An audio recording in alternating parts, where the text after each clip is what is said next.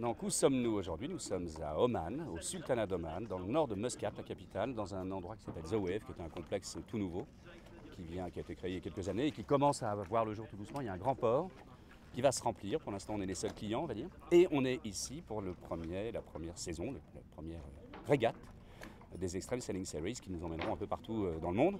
En ce qui me concerne, je vais juste avoir la chance, je remplace Eric Maris, qui est le skipper et le propriétaire et armateur de ce joli bateau, Zulu, qui est derrière nous. Et je le remplace pour ici, euh, à Oman, ainsi que la Chine, Qingdao, dans quelques semaines.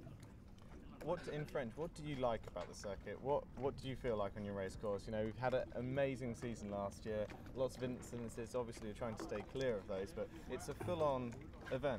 Ce qui est assez intéressant et passionnant depuis que je fais du bateau, c'est évidemment de se mesurer aux autres et aux meilleurs. C'est ça ce qui est intéressant dans toutes les compétitions, quelles qu'elles soient. Et l'intérêt des Extreme Sailing Series, c'est qu'on retrouve vraiment un casting assez impressionnant. Il y a énormément de médailles de partout, de champions du monde, de plein de choses, qui euh, naviguent beaucoup sur ce type de support. En ce qui me concerne, j'ai eu la chance de naviguer déjà sur ces bateaux-là il y a deux ans, deux ans et trois ans, avec Oman d'ailleurs, euh, avec l'équipe Oman Sail.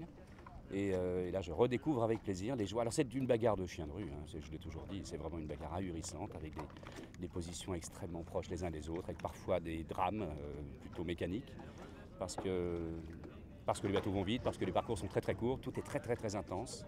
Et ça dure 4 jours à chaque fois, mais c'est vraiment extrêmement. euh, physiquement et nerveusement, c'est vachement dur.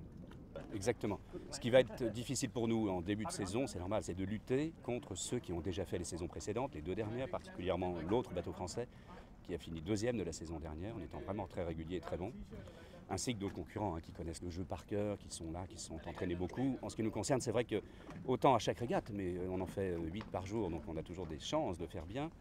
Mais pour l'instant, on ne vise pas trop. On est juste là pour essayer de progresser, de faire le minimum de bêtises, euh, mais déjà de s'entraîner ensemble. On, on navigue ensemble sur ce bateau-là que depuis trois jours. Donc on a évidemment un petit désavantage.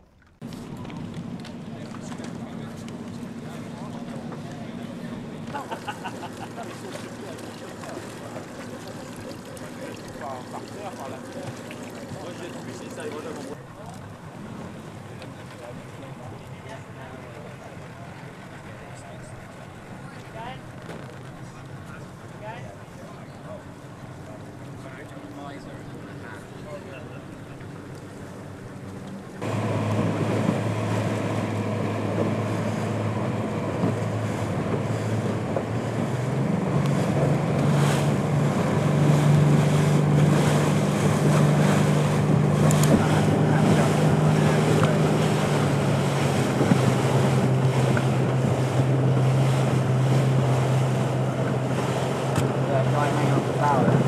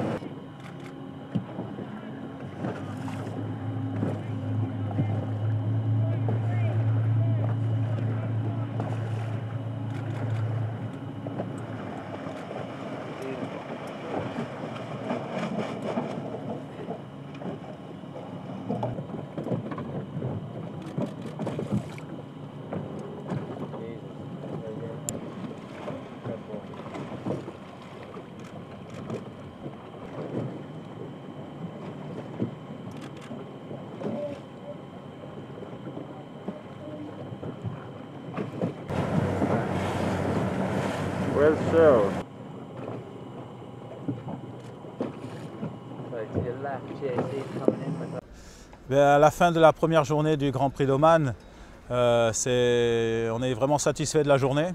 On ne savait pas tellement où se situer par rapport à la flotte, notre niveau. On a de bonnes bases, mais on a un équipage complètement nouveau, même s'il y a deux anciens, Pierre à la barre et moi, mais moi je change de poste, donc je dois réapprendre euh, un petit peu le fonctionnement du bateau. Donc on avait un petit peu d'appréhension, on ne savait pas vraiment ce qu'on valait sur le papier. Sur le papier, pardon, on savait qu'on euh, valait quelque chose parce qu'on a recruté vraiment deux équipiers de choix, Bernard Labro et Jean-Christophe Mourniac. Mais euh, sur l'eau, c'est autre chose. Et à la fin de la journée, on est euh, premier ex aequo avec Omaner. Et pour nous, c'est un très très bon résultat. On engrange de la confiance pour les trois jours à venir. Et c'est toujours agréable d'être dans le coup, dès le premier jour.